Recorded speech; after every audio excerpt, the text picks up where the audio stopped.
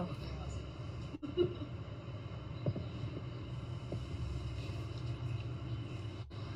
I wanted to see the details. But got nice leather, really soft leather seats. Oh. Oh, She's excited about her product and that was a very um, good choice of uh, frame finish and upholstering.